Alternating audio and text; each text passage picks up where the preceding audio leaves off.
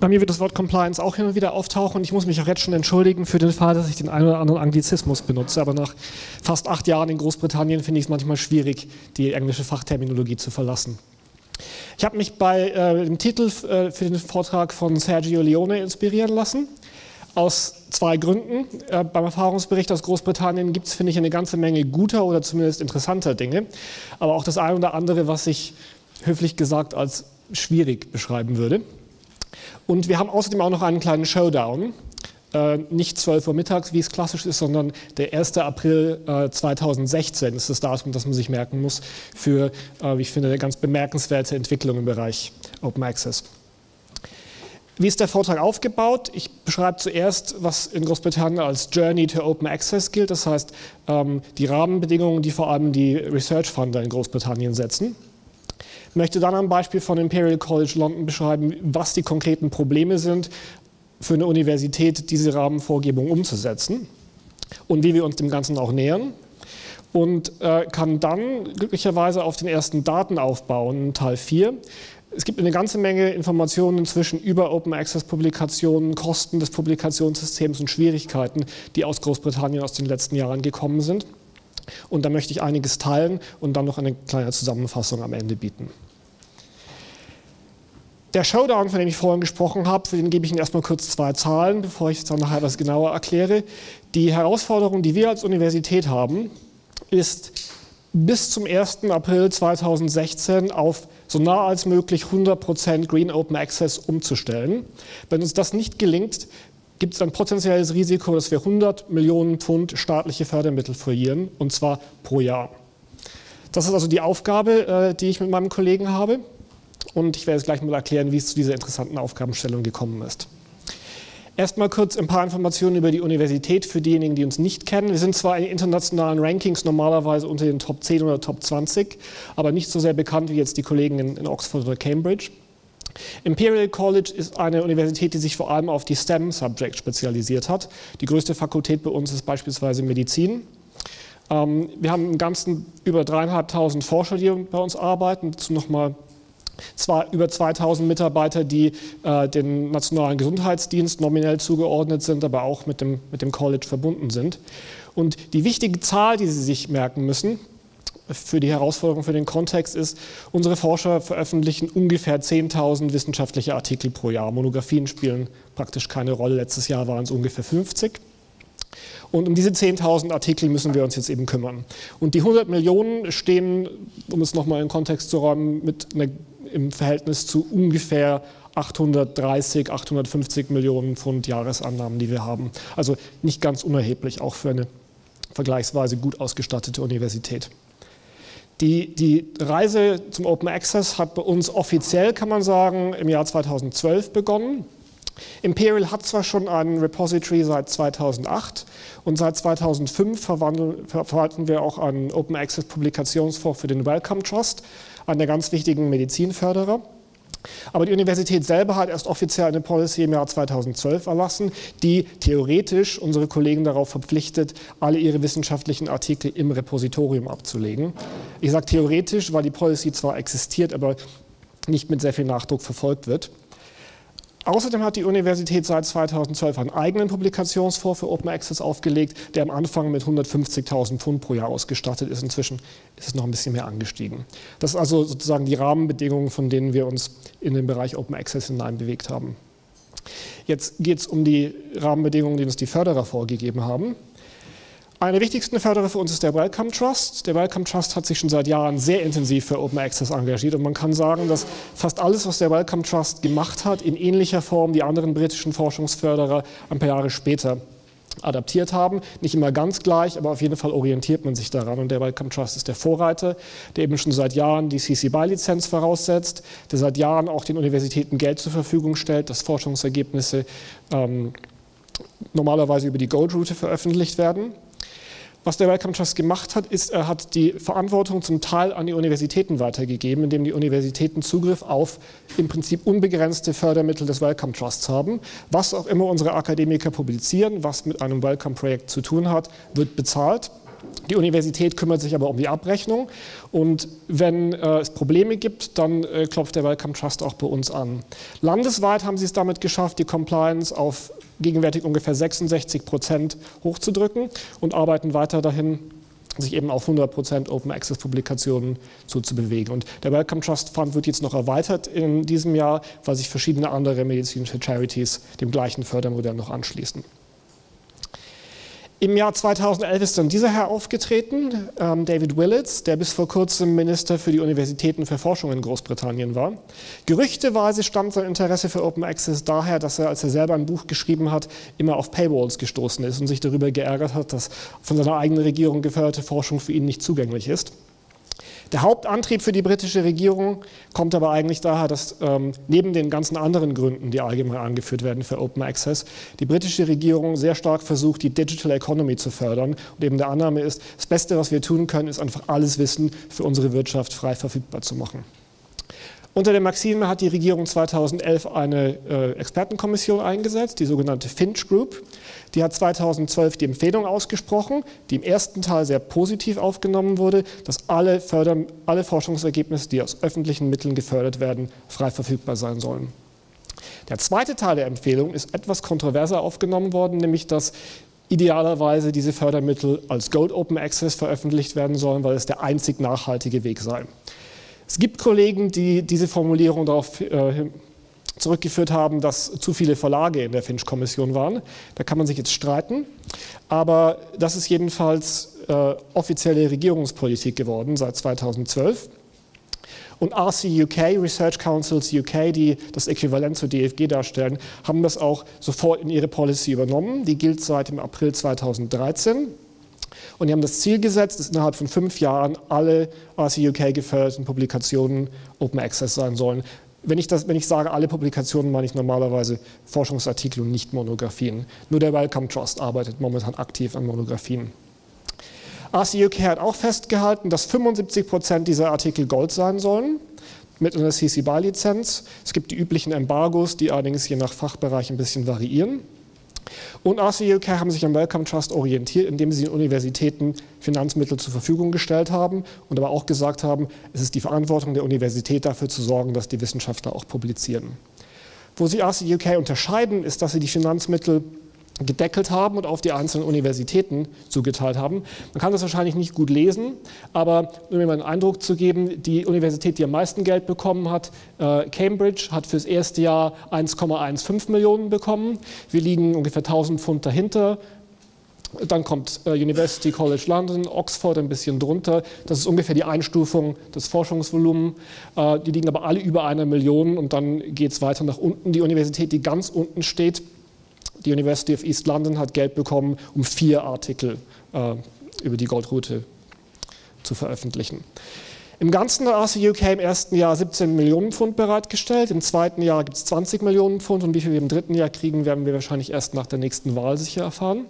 Aber die Idee ist, dass eigentlich diese Fördermittel ansteigen und die Universitäten stehen unter einigem Druck, dieses Geld auch tatsächlich auszugeben für Gold Open Access. Das ist das, was man allgemein wahrgenommen hat, wenn man sagt, Großbritannien hat sich für die goldene Route entschieden. Es hat sich jetzt aber alles geändert, zumindest zum Teil, weil eine weitere Organisation aufgetreten ist. Ähm, es gibt die Higher Education Funding Councils, eins für England, Wales, Schottland und so weiter, die den Universitäten im Jahr momentan ungefähr 3,88 Milliarden Pfund zur Verfügung stellen. Die Hälfte davon sind Mittel, die sie für die Forschungsförderung zur Verfügung stellen. Aus denen bekommen wir die annähernd 100 Millionen Pfund, die ich vorher erwähnt habe. Und die verteilen diese Mittel nach einer Forschungsevaluierung, dem sogenannten REF. Der REF findet normalerweise ungefähr alle fünf bis sechs Jahre statt. Und in dem REF schicken alle Universitäten Forschungen ihrer Wissenschaftler, die sie für die besten halten, zur Evaluierung an. Und nach dieser Forschungsevaluierung werden dann sowohl die Departments gerankt, die Universitäten und die Mittel verteilt.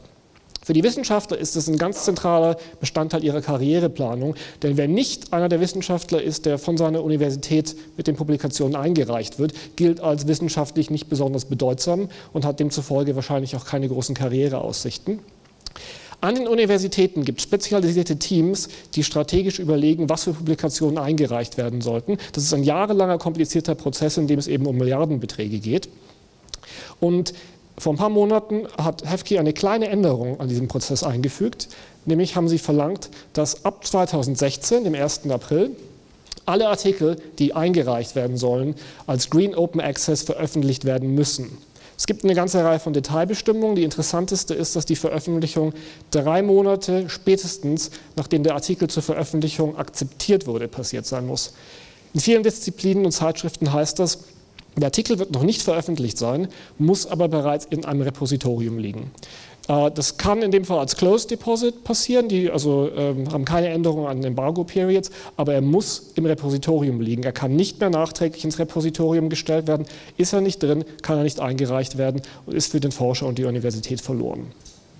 Das hat die Folge, dass effektiv sich jetzt alle Universitäten darüber Gedanken machen, wie sie zum 1. April 2016 so nah als möglich an 100% Green Open Access kommen, um eben, wenn 2020 die nächste Evaluierung ansteht, auswählen zu können, welche Artikel sie einreichen.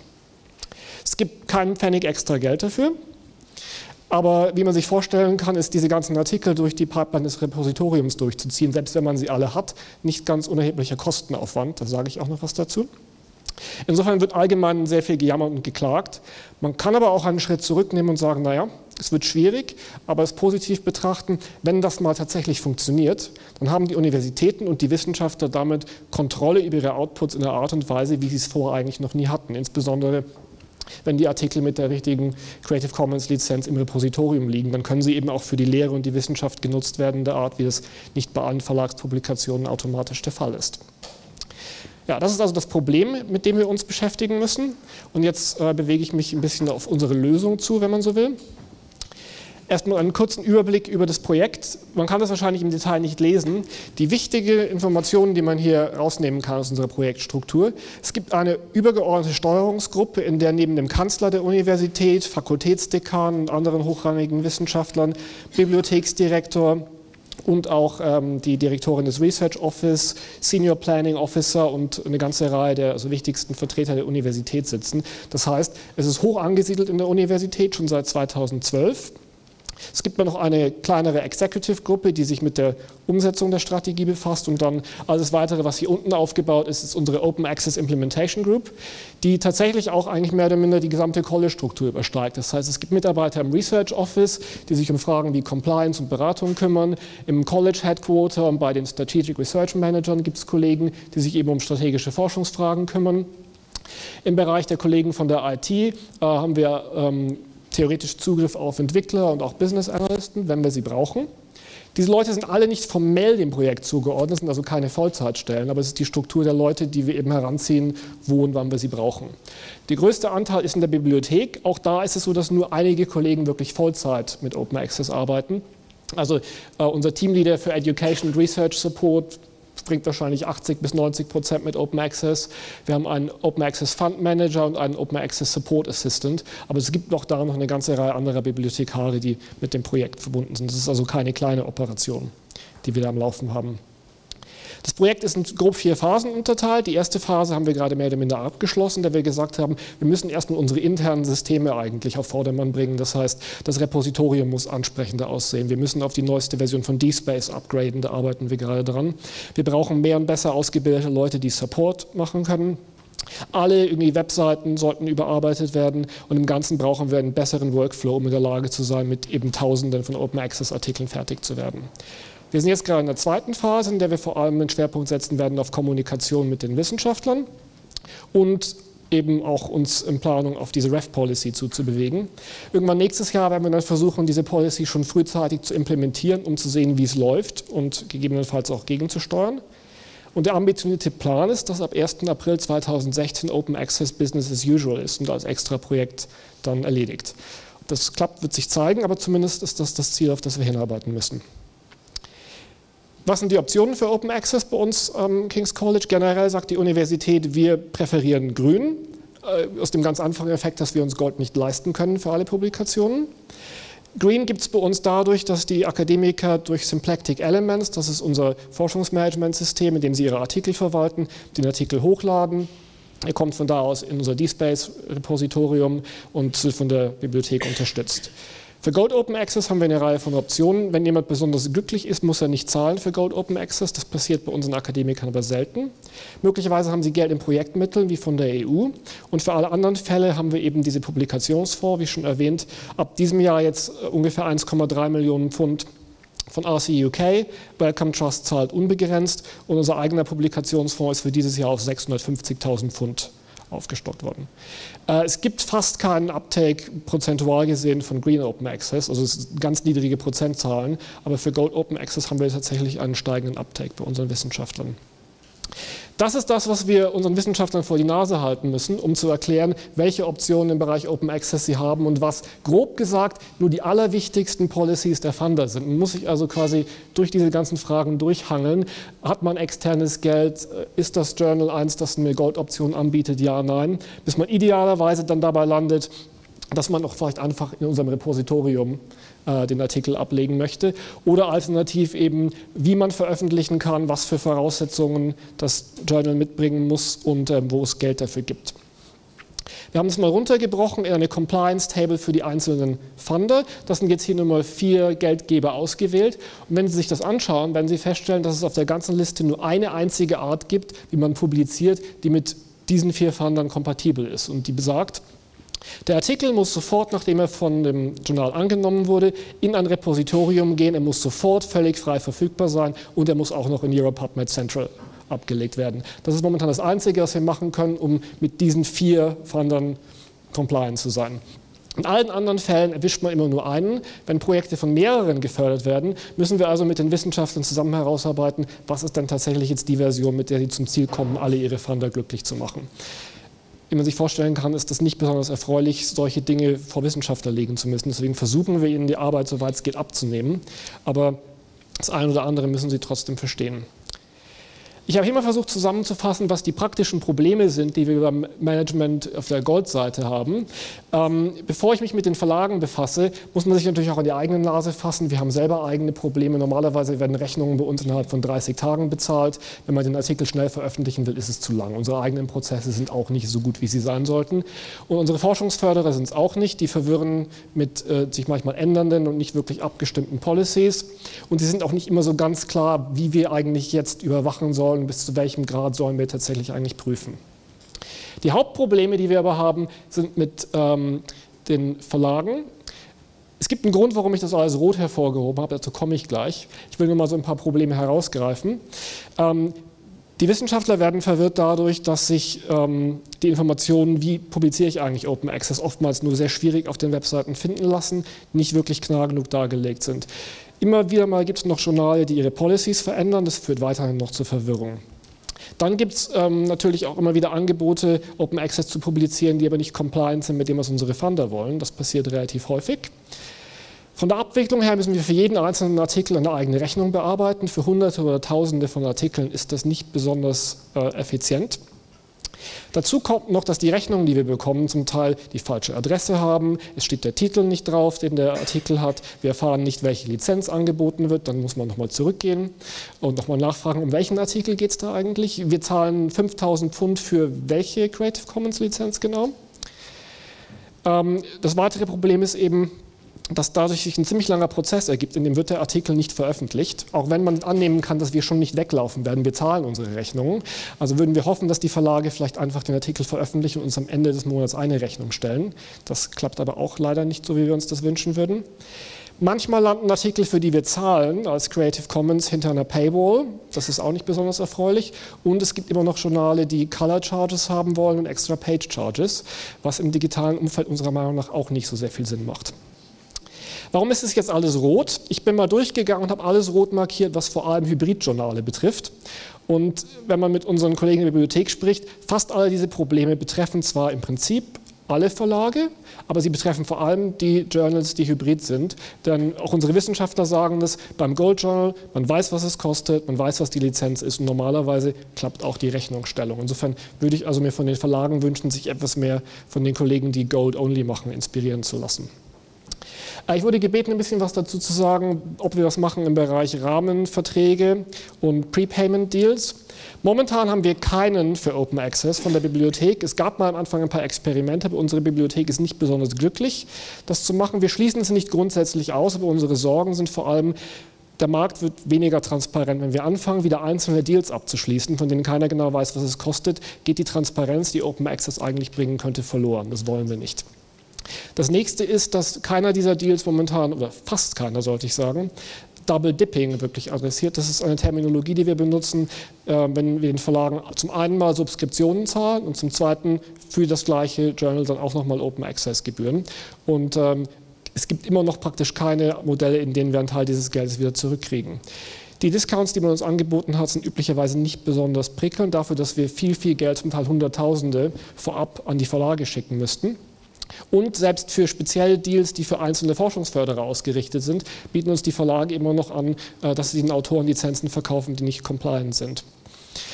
Eine weitere Sorge, die wir auch haben, ist, wenn wir solche Deals abschließen, dass das vielleicht als Signal verstanden werden könnte von unseren Forschern, dass sie doch bitte schön in diesen Zeitschriften publizieren sollen und wir dann damit noch zu einer weiteren Marktkonzentration beitragen. Das wollen wir auch nicht. Ich weiß, dass andere Universitäten in Großbritannien solche Deals abschließen und es geheim halten vor ihren Forschern, um bloß nicht deren Auswahl zu beeinflussen. Wir sprechen allerdings mit äh, Gold Journals und haben da zum Teil ähm, erfolgreichere Signale, bessere Signale bekommen über Angebote, die uns tatsächlich helfen können, zum Beispiel mit der Rechnungsstellung aktiver zu sein. Wir haben uns dann auch bemüht, unsere eigenen Prozesse zu verbessern. Ich will es jetzt nicht im Detail beschreiben, aber im Wesentlichen hatten wir vor einem Jahr eine Situation, in der alles über Spreadsheets abgewickelt wurde, E-Mail, Telefon, wenn Wissenschaftler wissen wollten, wie ist denn der Stand äh, dieses Antrags, den ich gestellt habe auf Finanzierung, mussten sie in der Bibliothek anrufen. Die Bibliothek muss dann bei den Finanzleuten anrufen und sagen, haben wir die Rechnung schon bezahlt, was ist da los? Wir haben seit diesen ganzen Prozessen ein technisches System reingepackt das wir automatisiert haben. Wenn sich der Wissenschaftler anmeldet, weiß das System, wer ist der Wissenschaftler, was für Fördermittel hat. Er muss also nur noch auswählen, das ist dieser Artikel, der hat mit, ist von folgendem Förderer gefördert und dann können wir im System im Hintergrund dann die Zahlung entsprechend abwickeln. Und auch die gesamte Kommunikation läuft über dieses System. Das ist so ein klassisches Ticket-Management-System, das man zum Beispiel kennt, wenn man irgendwo eine Support-Anfrage stellt. Das haben wir jetzt also aufgebaut und wir hoffen dadurch solche Missstände wie, dass wir vorher pro APC, die wir bezahlt haben, acht separate Kommunikationsvorgänge zwischen der Bibliothek, dem Verlag und dem Autor hatten, auf eine deutlich geringere Zahl runterstellen können. Das ist jetzt gerade neu ausgerollt worden und ähm, bisher ist es ganz gut angenommen. Das ist ein Screenshot nur so zur Information über dieses System, das heißt bei uns Ask Open Access. Ähm, das Wichtige, was man sich eigentlich da nur merken soll, ist im Wesentlichen, dass es äh, eine Reihe von Aktionen hier oben gibt, in denen die Bibliothekare den gesamten Arbeitsablauf an einzelne Leute delegieren können. Das heißt, es geht vom Autor zum spezialisierten Bibliothekar, von dort aus zur Finanz, eventuell wieder zurück zur Bibliothek und bleibt alles in einem System, was das Management deutlich erleichtert. Das nächste Problem, das wir haben, ist uns äh, mit den Workflows von Publikationen äh, auseinanderzusetzen. Momentan ist es eigentlich ganz angenehm. Wenn ein Artikel veröffentlicht wird, haben wir ein äh, CRIS-System, Symplectic Elements, das irgendwann aus den einschlägigen Datenbanken rausfiltert, da ist ein neuer Artikel veröffentlicht worden. Wenn die Wissenschaftler sich das nächste Mal einloggen, dann sagt das System, hier haben wir drei Artikel, sind das deine? Und man geht durch und sagt, das ist meiner, das ist meiner, das ist nicht meiner. Und bei jedem, wo man klickt, das ist meiner, geht dann ein kleines Feld auf, wo man seinen Artikel, also das Manuskript reinkopieren kann. Man muss keine Metadaten manuell eintragen, gar nichts. Drückt auf den Knopf und es geht ins Repositorium. Das ist eigentlich ganz hübsch. Das hätten wir gern beibehalten, das können wir aber nicht mehr, weil wir jetzt diesen neuen Prozess haben, in dem wir die Artikel schon einsammeln müssen, wenn sie vom Verlag akzeptiert worden sind zur Publikation. Und zu dem Zeitpunkt weiß natürlich keine Datenbank, dass dieser Artikel veröffentlicht wurde. Also haben wir ein Problem hier. Die Autoren müssen wissen, dass es diese Policy gibt. Sie müssen aktiv zu uns kommen. Sie müssen uns die Metadaten geben und das Manuskript. Und dann läuft im Prinzip der gleiche Prozess ab, aber mit ein paar Einschränkungen, wie dass wir unter Umständen ähm, das Manuskript vielleicht erst durch ein Embargo schützen müssen, dass möglicherweise die Metadaten, die wir vom Autor haben, nicht ganz exakt sind und deswegen das System nicht automatisch erkennen kann, wenn der Artikel veröffentlicht ist, dass das tatsächlich der gleiche Datensatz ist. Es gibt also ein Problem, aber die, das Schwierigste ist, wenn sich die Wissenschaftler nicht daran erinnern, es zu tun, ist der Artikel damit dann futsch für uns. Das ist der Prozess, auf dem wir jetzt hinarbeiten, äh, mit einem Fragezeichen. Es ist nicht klar, ob es klappt. Wir haben die Hoffnung, dass man vielleicht die Verlage dazu bringen kann, sobald ein Artikel akzeptiert wird, uns den Artikel und die Metadaten zu geben. Wenn wir die Metadaten idealerweise mit DOI bekommen und auch die Embargo-Daten könnte man es direkt automatisch einspeisen ins System mit korrektem Embargo. Und wenn der Artikel irgendwann veröffentlicht wird, kann man über die DOI matchen. Das ist der tatsächlich veröffentlichte Artikel, updatet die Metadaten mit Seitenzahlen etc. Alles erledigt. Hat natürlich ein paar Voraussetzungen. Die erste ist, die Verlage müssen bereit sein, es zu machen. Die zweite ist, die Verlage müssen in der Lage zu sein, den Forscher, mit dem sie zu tun haben, mit unserem Forscher zu verbinden. Dafür wollen wir etwas benutzen, was sich ORCID nennt. Das ist ein Identifier für Autoren. Wir haben jetzt gerade ein Projekt am Start, mit dem wir dieses, diese ORCID für alle unsere Wissenschaftler verfügbar machen bis Ende des Jahres. Löst aber nicht das Problem, dass die äh, Verlage immer noch uns diese Daten zur Verfügung stellen müssen. Wir arbeiten deswegen mit JISC in Großbritannien zusammen, die einen Publications Router haben. Äh, und die Idee ist, ein Pilotprojekt aufzubauen, wo die Verlage die gesamten Daten in ein System einspeisen und die Universitäten mit der Schnittstelle, die für ihre Systeme passt, die Daten wieder rausziehen.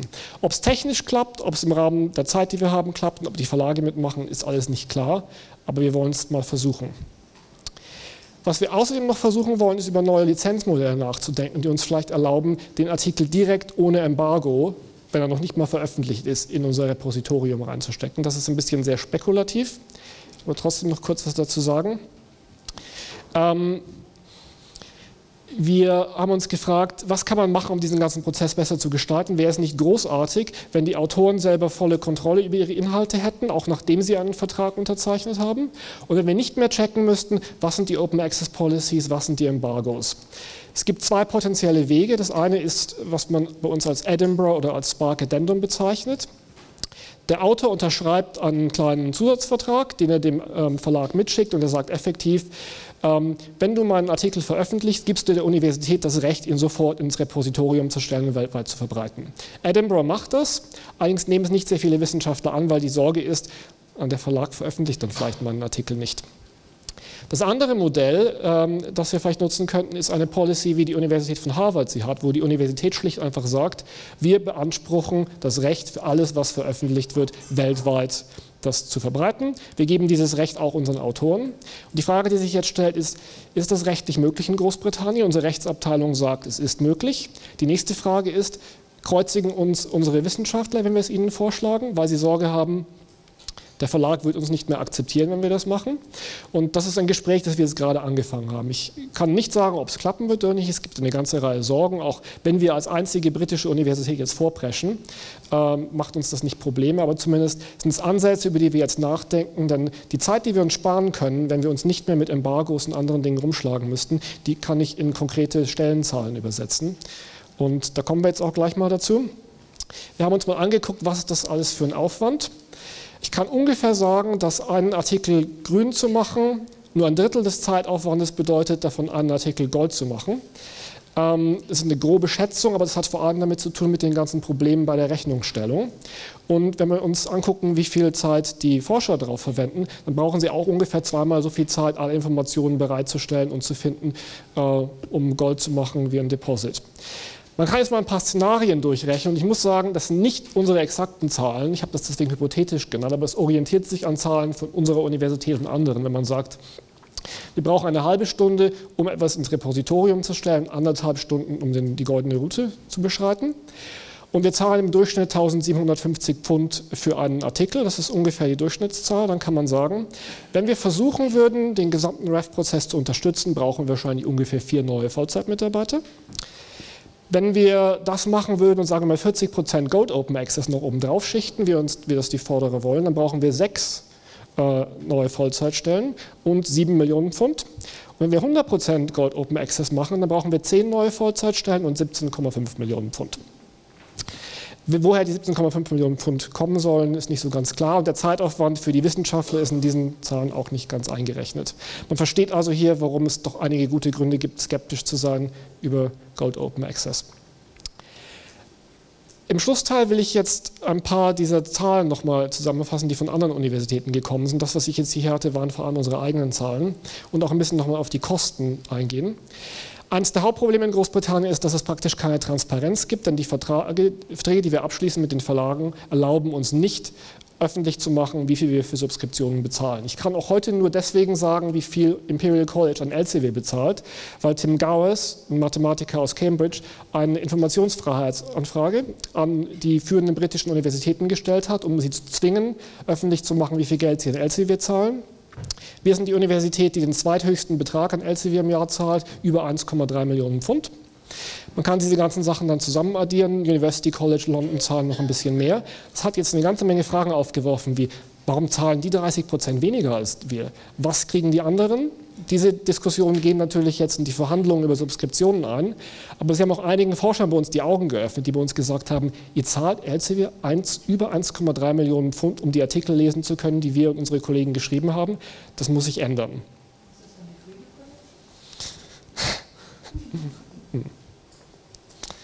Aber wir haben noch weitere Daten äh, bekommen. Der Wellcome Trust hat jetzt Daten verfügbar gemacht über ähm, die APCs, die sie im letzten Jahr gezahlt haben. Sie haben die Daten einfach auf Figshare abgelegt. Die Open Access Community hat eine Woche lang daran gearbeitet und die Daten bereinigt und analysiert. Es sind also eine ganze Reihe Blogposts jetzt geschrieben worden. Ich habe hier mal einen rausgegriffen von Michelle Brook äh, von der Open Knowledge Foundation. Die hat eben also festgestellt in der Gesamtanalyse, Elsevier, äh, der Wellcome Trust zahlt 3,88 Millionen Pfund im Jahr für Open Access. Davon gehen 3,17 Millionen Pfund an Hybrid-Zeitschriften, für die wir sowieso schon Subskriptionsgebühren zahlen. Das sind also 82 Prozent des Geldes im Bereich Open Access fließt an Hybrid-Zeitschriften. Der Wellcome Trust hat sich das alles noch weiter angeguckt und hat bei der Analyse dann festgestellt, dass für 7% der Artikel, für die er gezahlt hat, er nicht das bekommen hat, wofür er gezahlt hat. Es gab also Probleme wie Open Access Artikel behind Paywalls oder es wurde nicht in EuroPubMed Central abgelegt, die äh, Lizenzinformationen waren falsch oder im PDF stand Copyright, auf der Webseite stand Creative Commons. Also 7%.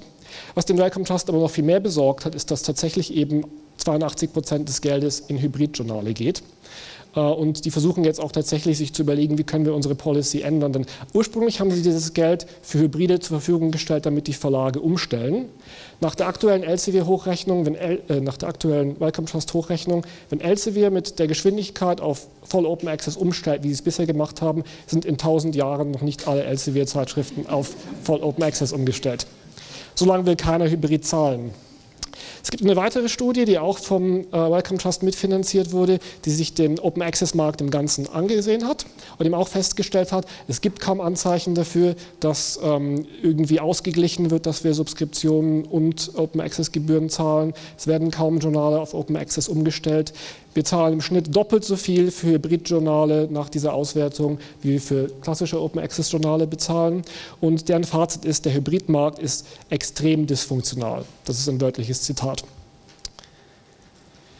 Die Universitäten haben sich auch zum Herzen genommen, dass man vielleicht ein bisschen mehr Transparenz haben kann. Ich habe diese Links hier einfach nur eingefügt, damit Sie nachher vielleicht mal drauf klicken können. Eine ganze Reihe britischer Universitäten machen inzwischen ihre APC-Payments öffentlich. Äh, wir waren einer der ersten. Wir haben bis zum Jahr 2006 zurück alle APC-Payments öffentlich gemacht, wo man nachsehen kann, was wir wann wie viel gezahlt haben. Und das geht inzwischen auch in, in Analysen ein in der britischen Open Access Community.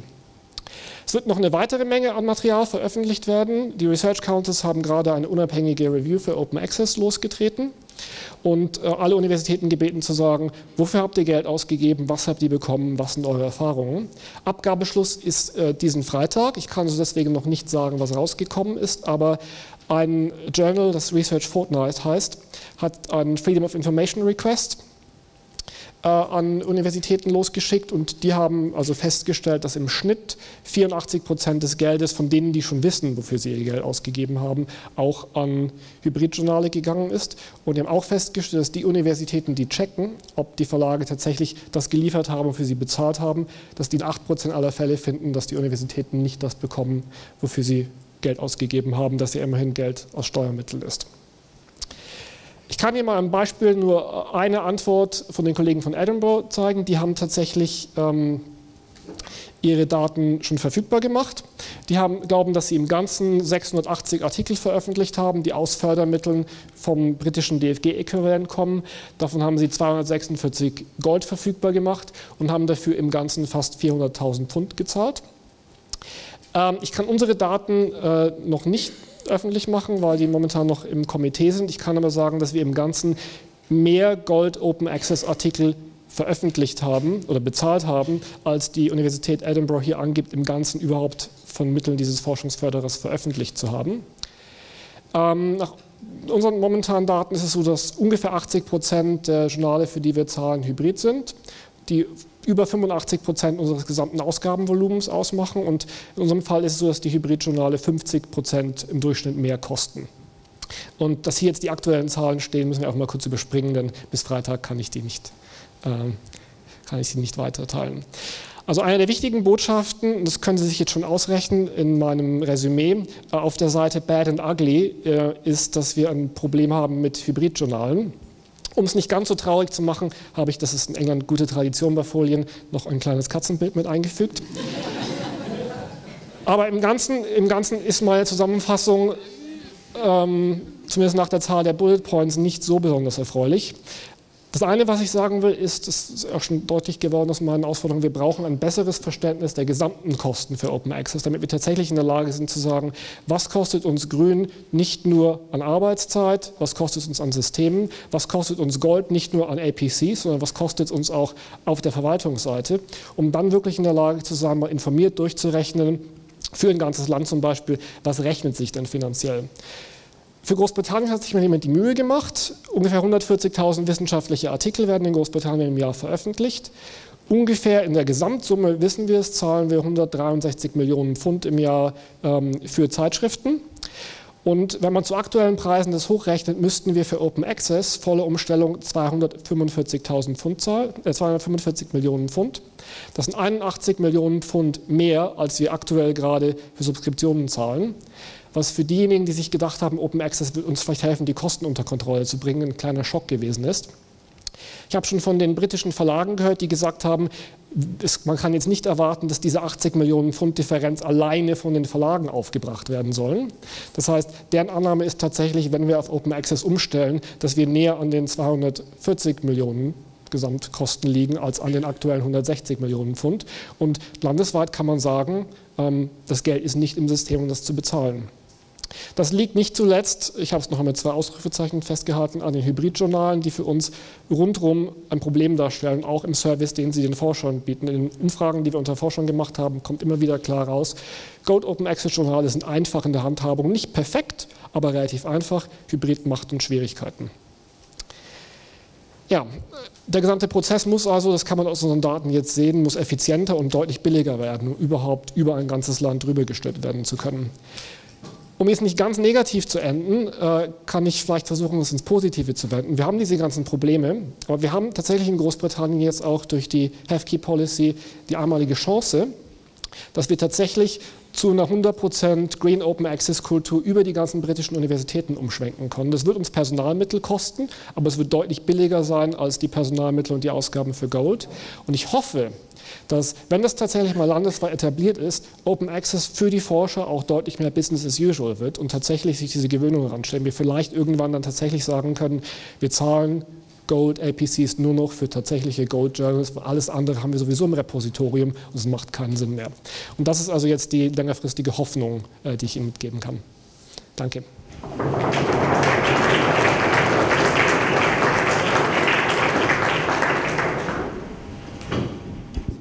Ja, herzlichen Dank, Herr Reimer, äh, für diesen sehr interessanten äh, Vortrag. Wir haben jetzt noch sieben Minuten Zeit. Äh, das heißt, ich würde sagen, vielleicht zwei oder drei Fragen kriegen wir noch unter.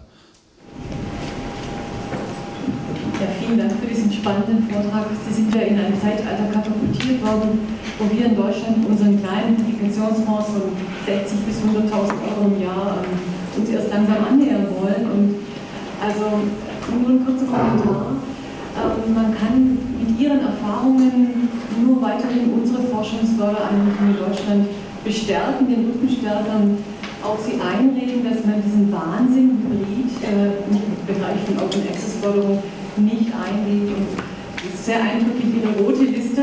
Ja, alles, was schlecht ist, was einen riesigen Verwaltungsmehraufwand macht, äh, beschränkt sich total auf Hybrid abgesehen von ideologischen äh, Problemen, die man damit hat. Also nur ein Plädoyer, dass wir die DFG stützen und auch ähm, die Ad-Hoc-Allianz, äh, die Allianz-AGs, die Positionspapers rausgeben, dass es auch in diese Richtung argumentiert wird, weil sonst landen wir ähm, in ihrer Richtung und Vielleicht haben Sie dann den Berg schon, das Meer schon durchteilt und sind dann wieder betrübt angekommen. Also ich denke, Deutschland kann sehr viel aus Ihren Erfahrungen lernen. Ich würde natürlich hoffen, dass da, wo wir Fehler gemacht haben, nicht andere Länder diese Fehler nochmal wiederholen. Es reicht, wenn wir sie einmal machen. Reicho vom Leibniz-Zentrum für Agrarlandschaftsforschung in Münchenberg. Eine Frage, die sich auf Ihren zweiten Satz am Anfang bezieht. Bücher spielen keine Rolle, 50 etwa. Nach meinem Verständnis ist das Buch die Stütze des Abendlandes. Und wenn man sagt, schreiben Ihre Professoren die nach dem Retirement oder gibt es keine Bücher? Denn es ist so fixiert in aller Brillanz Ihres Konzeptes auf das Paper. Und man kann Wissen nicht tradieren, indem man nur Papers in die Welt wirft wie Spielkarten. Man muss einen Textbuch schreiben irgendwann. Wird das honoriert? Also wir sind ein Ausnahmefall in den britischen Universitäten, weil wir rein auf Science, Technology, Engineering und Medizin spezialisiert sind und da im Wissenschaftsdiskurs spielen Monographien fast keine Rolle. Das ist nicht was, was wir als Universität vorgeben, das macht die Wissenschaft in dem Bereich selber. Es sieht natürlich anders aus bei unseren Kollegen in Oxford und Cambridge, mit denen wir intensiv zusammenarbeiten, die raufen sich die Haare über die Frage, wenn wir mal auch verpflichtet sind, alle unsere Monographien Gold Open Access zu machen, wie sollen wir denn das bezahlen? Das heißt, das hier ist kein Plädoyer fürs Buch, es ist ein ganz pragmatischer Ansatz, wir müssen unterstützen, was unsere Wissenschaftler veröffentlichen. Wenn die mehr Monographien veröffentlichen wollen, dann werden wir sie auch da unterstützen. Ähm, momentan ist es aber ein sehr kleiner Ansatz und keiner der britischen Forschungsförderer im Moment gerade verlangt, dass Monographien öffentlich gemacht werden. Der Wellcome Trust wird sehr bald tun und dann werden wir auch mit denen zusammenarbeiten, um die wenigen Monographien, die es bei uns gibt, mit Wellcome Trust Funding natürlich auch Open Access verfügbar zu machen. Ich bin, muss ich dazu sagen, ich bin selber Historiker und ich habe mit frühneuzeitlichen Büchern promoviert. Also ich bin äh, mit alten, ähm, halb verrotteten äh, Büchern sehr glücklich. Äh, aber in der praktischen Arbeit spielen sie momentan keine Rolle bei mir.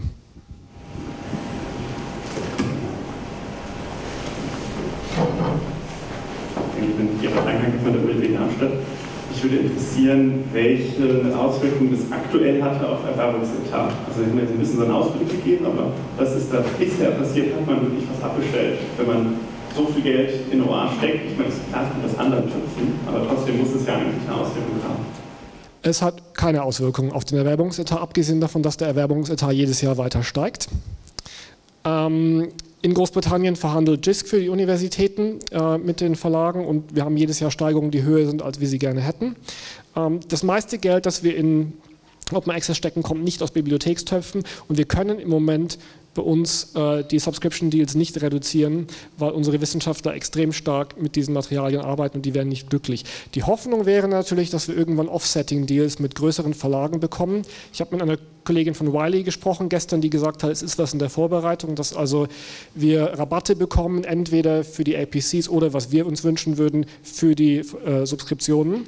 Dass also je mehr APCs wir zahlen, die Subskriptionen runtergehen und wir irgendwann das gesamte Geld einfach umschichten können. Aber auch da gilt 17,5 Millionen Pfund, was wir im Ganzen zahlen müssten für 100% Gold, ist höher als unser gesamter Bibliotheksetat für diese Erwerbungen. Ich darf nicht genau sagen, wie hoch er ist, aber wenn man bedenkt, LCW 1,3 Millionen Pfund, dann kann man ja ungefähr beschlagen, in welcher Größenordnung wir im Ganzen liegen.